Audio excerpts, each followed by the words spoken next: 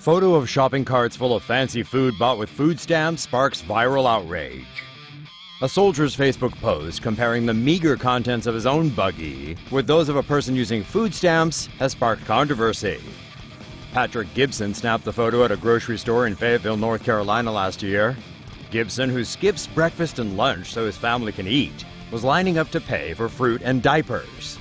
In front of him was a person with not one but two shopping carts bulging with what Gibson said was steak and some other very nice choices of food. When the person took out their wallet to pay for the purchase, Gibson saw them move a big fold of cash to get to their electronic benefits card.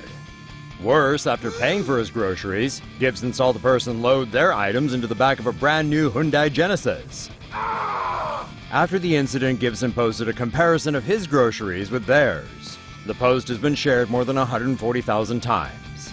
Many Facebook users were livid. Mark Bostic said knowing people sell their food stamps makes me sick. The level of hatred have for that type of person is undying, wrote Greg Bowers. But others, like Ricky Jackson, said Gibson shouldn't be so quick to judge not knowing the other person's story. Liz Lemon said posting photos of other people's groceries on Facebook was creepy. What do you think? Was this person a benefit scrounger, or is Gibson a creeper? Let us know in the comments. See a story that really should be animated? Suggest stories to TomoNews Now.